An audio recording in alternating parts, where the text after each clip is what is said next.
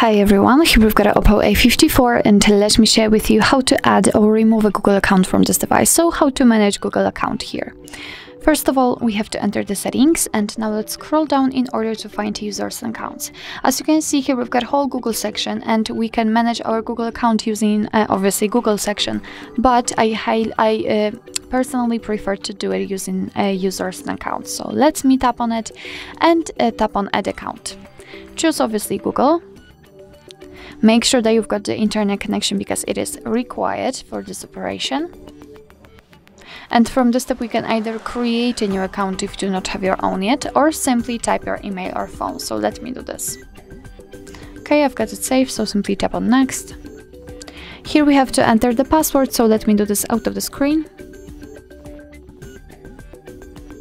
Okay, let's tap on next.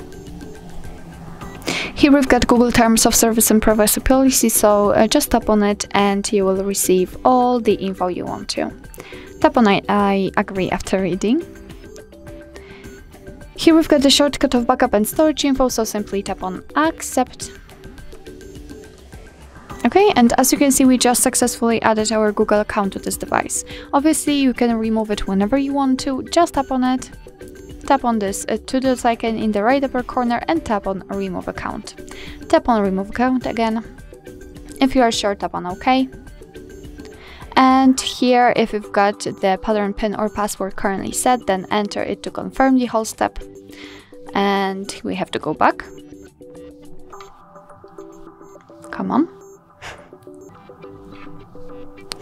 okay, it crashed a little. So let's enter the users and accounts in order to check.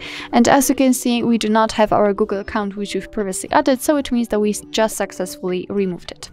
So actually that's all. This is how to manage Google account in your Oppo A54.